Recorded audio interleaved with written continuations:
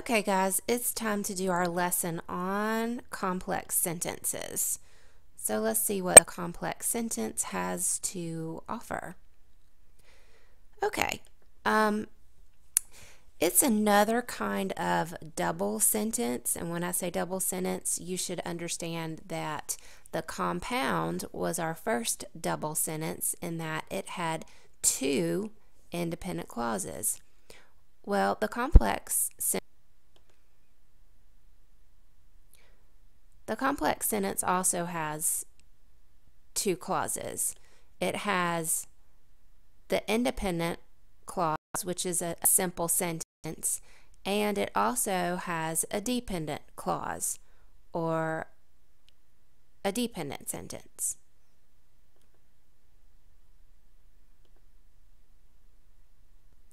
Dependent clauses begin with dependent words. And we had our list of words on the clause video.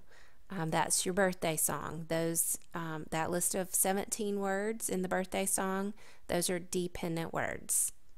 Okay, so here's another way to look at those words. Um, the time, um, the group of time words, and the group of logical connection words are words that you should have seen in the list that I shared with you. Um, and a couple with the added detail. Don't worry about the ones that aren't in our list. We will talk about those later in life. Just worry about the ones that you do recognize from the birthday song.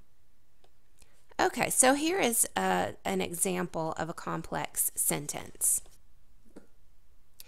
Okay, um, when I obtained a credit card, I began spending money recklessly. There is the dependent word, when. It begins your dependent clause or dependent statement. When I began, obtained a credit card. The rest of the sentence is your simple sentence or independent clause, and that's what holds the the entire sentence together. So the complex sentence is made up of a dependent clause that begins the sentence and an independent clause that ends it. So, okay, here's another example.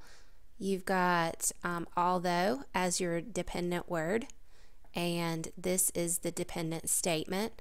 Although quarterback Jay Cutler is not happy, that's your dependent statement. And then at the beginning, You've got running back LT is staying with the San Diego Chargers. That's your simple sentence independent clause. And when you have, and it doesn't matter what order, obviously you've got them in different orders. Here we have the dependent statement first and the independent last.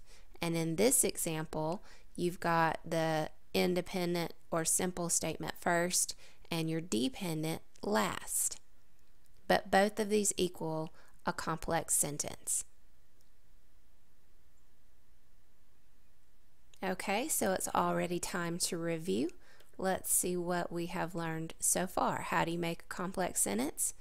Well, you have to have a dependent clause, um, and that is a statement that starts with a dependent word. So it's one simple sentence and one, um, one or more dependent clauses. Okay, so it's time to review what we've learned about complex sentences. All right, which part of this sentence begins with a dependent word? That's right, the first part. And identify the dependent word. The dependent word is because. Very good. Because is your dependent word, and therefore, this part of the sentence is the dependent statement. Speaking of dependent words or clue words, I thought it would be good to come back and revisit um, the song one more time it's just really important that you go ahead and you memorize these words. Not only will it be on your quiz that we have for sentences, and you will have to list every single one of these. Um, but it also will help you identify the dependent clauses in sentences. So, one more time, back by popular demand, here is the birthday song with your clue words. After all, though, as because, before, if, since, then, though, unless, until, when, whenever, where, whereas, wherever, while, ja, ja, ja. Okay, you've got to love a teacher who will sing to you and, and on multiple occasions. So, anyway, memorize the words as said. Um, and then I also have a couple of other tricks up my sleeve to help you be able to identify dependent clauses. Okay, so trick number one is that the dependent statement or dependent clause is the less important one out of the out of the two. Okay, so let's look at an example of um, where one clause is less important. In this sentence, because I forgot the time, I missed the final exam. Which one is more important? That's right. Your simple or independent statement, I missed the, the final exam, is the more important statement. And so, which one would be the less important statement? Yeah, the only one that's left because I forgot the time. Um, the reason will never be more important than the result. So this is um, the less important of the two. And here's another trick, although it's not really a trick. Um, you have the dependent clause cannot stand alone as a sentence um, it won't make sense by itself. So, looking at the same sentence, um, because I forgot the time, it just won't stand alone. You can't, ha- that's not a complete thought. You're missing the um, what of the sentence. You know, what are you talking about? um, that goes with that dependent clause. And that's why it's super important to have an independent clause um, to add to the dependent clause. It will um, never express a complete thought and it will always leave you hanging. Notice that here we have highlighted the independent clause and that can stand alone and it does make sense alone. So if you can isolate the two different parts, you can always tell which one is dependent and which one is independent. Okay, let's do another trial run and find the dependent clause.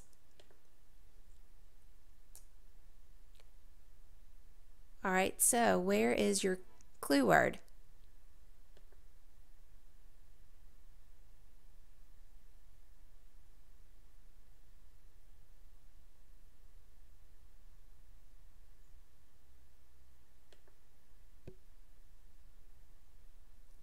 And look for which statement is less important. Which statement can't stand alone as a sentence. Okay, there's your clue word, before. That's in your list of words. And this begins the dependent clause. Before I invited Jane over for lunch. Um, let's point out here clue word Subject is I. Invented is your predicate. Okay? You have clue word, subject, predicate. You have a dependent clause. And it wouldn't make sense by itself. Okay? Okay, again, let's find the dependent clause. Looking for the clue word, the statement that is less important and which clause could not stand alone.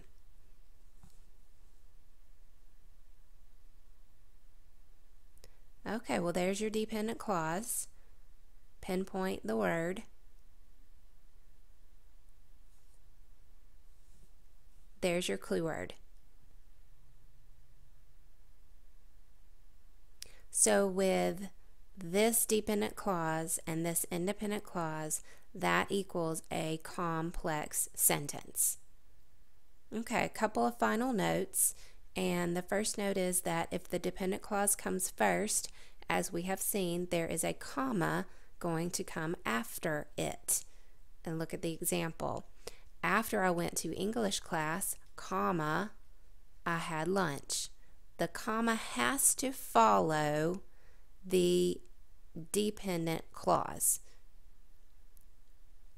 Now, if the dependent clause is last in the sentence or second, then there won't be a comma. Okay? Where is your clue word here? There's the dependent. That's lovely. There's the dependent clause. And notice that there is no comma before a dependent clause. Now, comma rules come into play here. You have to know um, when to use the comma and when not to use the comma. So make a note if the dependent clause comes first, it's comma. Dependent clause comes second, no comma. Okay, that's the end of this lesson.